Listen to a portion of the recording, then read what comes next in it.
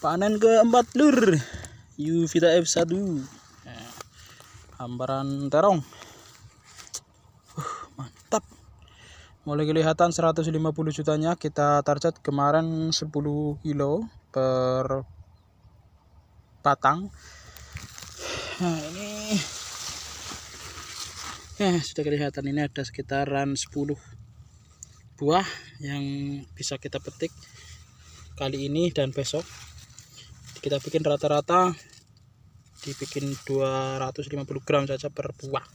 Ini sudah kelihatan kalau 10 2 kilo seperempat. Ini buah bawah. Urung, uh, kemarin sudah kepetik dua. Dua ini dua buah yang kita petik. Buah atas. Nih, masih banyak banget. Ini sudah kelihatan yang bawah aja sudah kelihatan sekitar dua kilo setengah yang kemarin satu kita petik juga.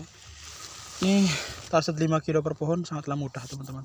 Jadi kalau 10 kilo per pohon mudah untuk terong Vita F1 karena di budidaya juga mudah eh, tahan gemini virus.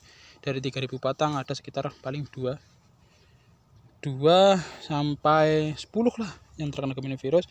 Tingkat kelayuan juga toleran ada beberapa yang layu seperti itu dari 3000 batang. Pokoknya mantul